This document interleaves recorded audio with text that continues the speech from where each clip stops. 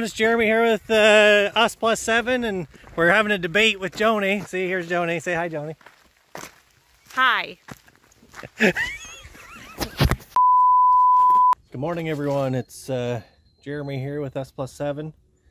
Um, it's been a few days since I've been able to uh, to record, and we've had some help here at the at the homestead, just getting a few things up, and with some uh, some other workers here, we just decided not to record. But this morning I'm uh, I'm here, and I just wanted to give you guys a an update of where we're at right now, and kind of come along today uh, with what we're doing. Um, we have uh, we've uh, you guys have seen the video where we received our chickens. Uh, the chickens we've had now for for two weeks and not one more week and they're going to be going out on pasture and uh, last weekend we we got our uh, some of our cows, uh, just uh, six. We are looking for some more. We're gonna pick up some more, and and uh, tomorrow, uh, this afternoon or tomorrow, probably tomorrow because I got quite a bit of work to do today. But tomorrow we plan on getting our pigs, which there's 19 or 19 or 20 pigs. So this morning we've got uh, I've got a couple of guys that are helping to build some gates uh, for us. And uh, I've got fencing to get finished inside of the uh, pen that I've created for the pigs, kind of a trainer pen, where I've put page wire around the perimeter.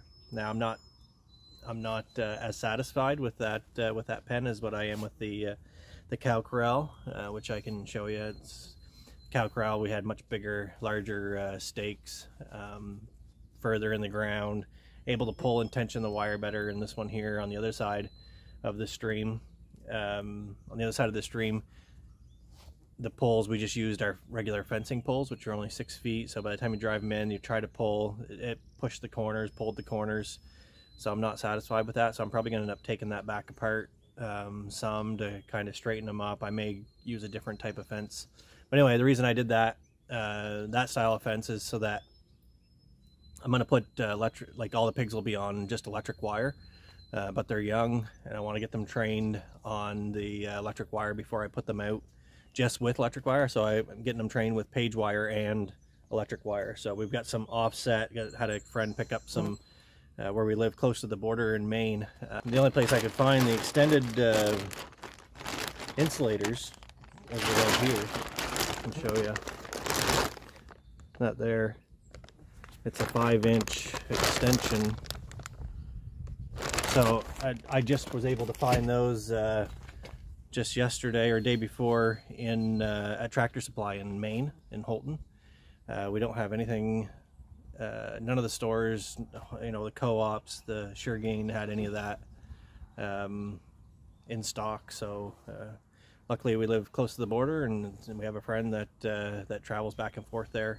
So we are able to get uh, the insulators we needed for that pen. So I'm gonna put with the page wire on, put the in, the extended insulators on uh, that will push it out so that uh, when they touch that, then if they do try to go through it, well, they're, you know, they're gonna run into the page wire. So they'll learn that electric fence real quick. Uh, we have had pigs before on electric fence, uh, but again, we had, um, uh, it wasn't page wire, but it was, um, they were panels that were, you know, four feet high or 40 inches high. I think they were 16 feet long and they were like a welded wire mesh, so like a WWM um, with the, you know, a pattern in it. Um, but we never had them out just on wire. So we're kind of following that Joel Salatin um, Polyface design. Uh, you guys have heard me talk about it before, but we're following that, uh, that book and his methods. Um, so we'll show you the we'll show you some of that. And we're also today we're going to show you the um, the cow corral and we'll uh, show you the cows um, which are they're right here. So we had them in the corral for a week and they seemed to calm down quite a bit.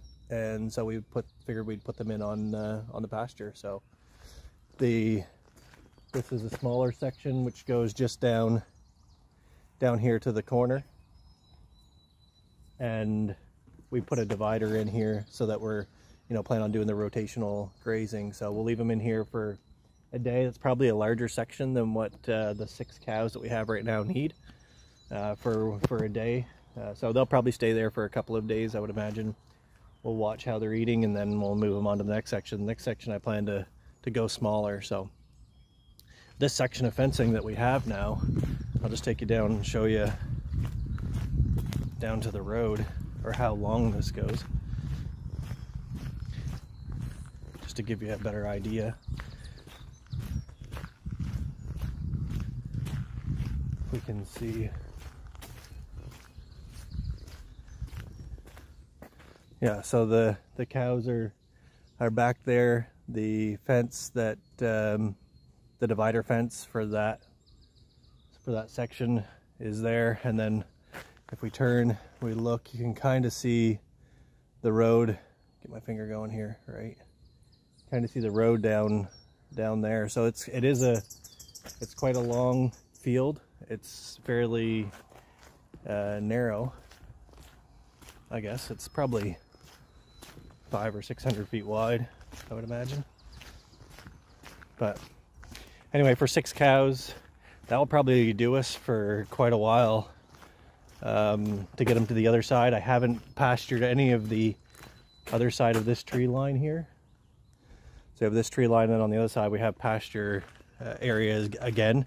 I haven't done any fencing there so I got some time. I have some time to be able to uh, get all the other animals here before I start working at that. And then uh, I'm gonna we'll do another video on the uh, cow corral. But you can see here we had uh, you know the gates we put on we have another gate on the other side which is down there we have another gate over there which uh, will allow the, the the cows so intention is that once they once they go down this section here all the way to the road. They'll cross the driveway that we have.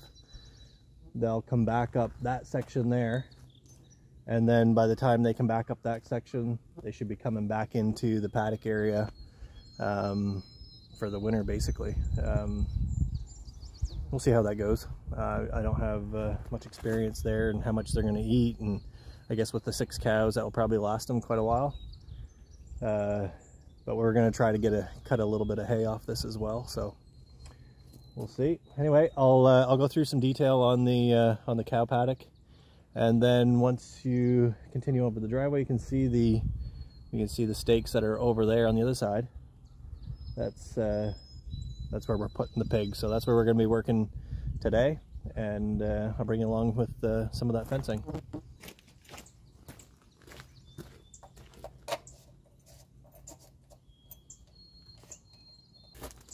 With the cost of fuel right now, you definitely want to make sure that you're uh, you're locking your tanks when you can.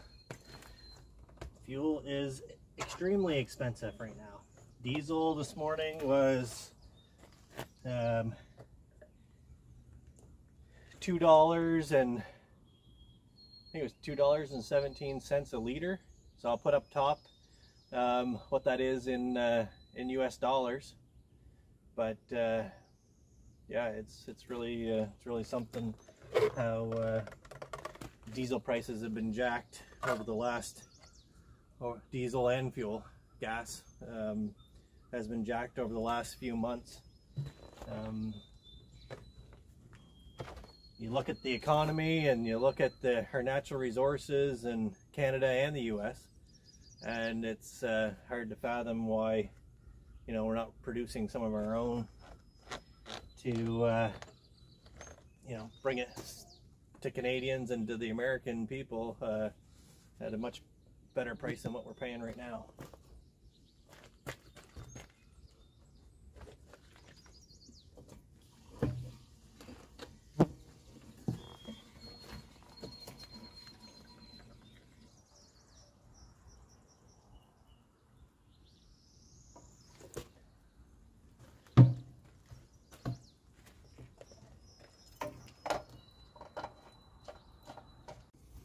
Now we're up to the uh, out to the field where our house is going to be built, or where this is where the barn's going to set. But uh, you can see it's a foggy day. It's raining out some.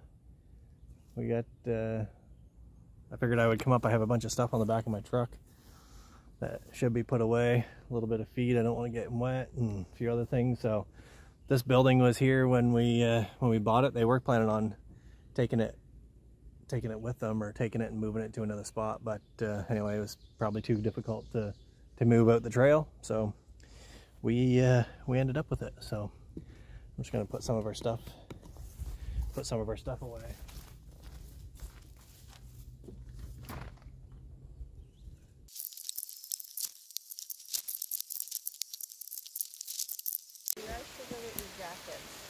Oh, it's less under here. All right, It's right here. There's a lot here. we made it to the uh, other side as I had told you. It's just that it wasn't in the same day. Today's uh, well, it's now a, another day, I guess.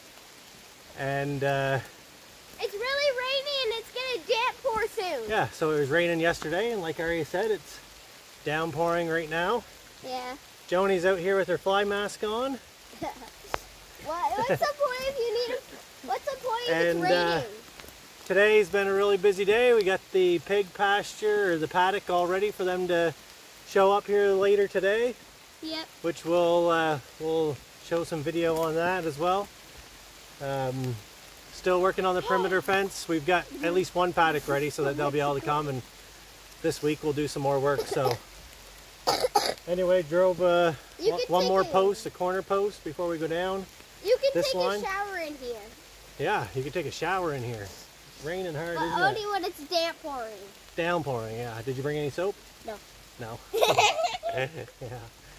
So we're, uh, yeah, I just wanted to finish up this uh, video and say thanks for watching and uh, don't forget to hit that subscribe and button and like and share, right, Ari? Yeah. Like, like, Like. and subscribe. like, and subscribe, like Ari said. Awesome, high five. See you later. Thanks for watching.